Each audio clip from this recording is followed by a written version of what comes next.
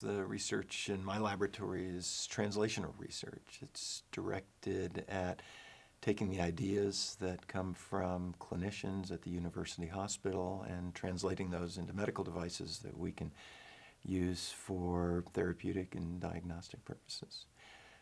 There's a type of instrument called a confocal endomicroscope. It's really a fiber optic wand that has a visualizing lens at the end of it and allows us to see through tissues. And it's been used for certain clinical applications, but we're applying it in open fields of surgery, so in brain surgery and heart surgery and other types of open surgery, so that clinicians can see what types of tissues are innervated, for example, where the nerves go in these tissues. Or they can look at margins of cancers and find out where the resection should take place.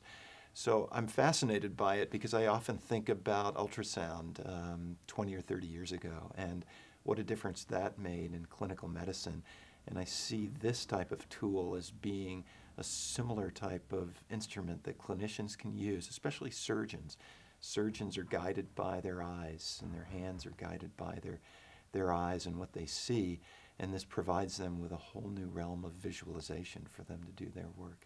We're working with a couple of very talented surgeons, and it's a really exciting project that brings together clinical medicine, research, and engineering.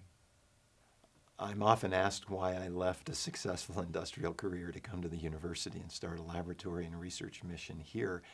I see it as a tremendous opportunity, the opportunity to explore new ideas that may not have immediate commercial payoff, to translate those ideas into meaningful applications to improve healthcare, um, and importantly, to train students, to train the next generation of engineers and scientists and clinicians. Um, the future of healthcare is going to be very different than the way we practice it now, and to see the students come through um, learn about the future of healthcare and to be able to apply that is incredibly satisfying.